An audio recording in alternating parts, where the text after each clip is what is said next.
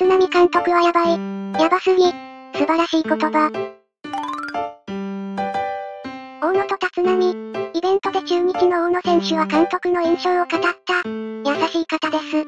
なんでそこまで気づく？って僕が焦ることにまで気づく。コミュニケーションが取れないという指摘があるのもわかる。監督は天才。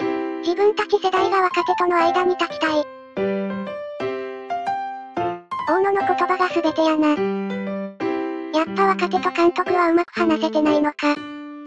大野の橋渡しとしての役割が重要。監督は天才、という言葉に監督との距離を感じる。天才だからこそ、細川の食べ過ぎとかが分かったのかもしれないね。3年後には A クラス入れそう。大野は言い回しがうまいな。やっぱ素晴らしい監督。これ言われて普通に嬉しがってそう。さん頑張ってね。伝説のミスタードラゴンズが率いる中日が、この結果で終わらないで、意地を見せろ。大野の立場が大事や。